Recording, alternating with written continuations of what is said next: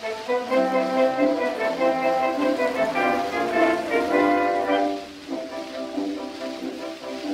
a bunch of good fellows who banded together, they're known throughout the land. And the thousands of folks who were down on their luck, they have lent a helping hand. The Order of Elks are the men that I mean, and their motto is sweet charity.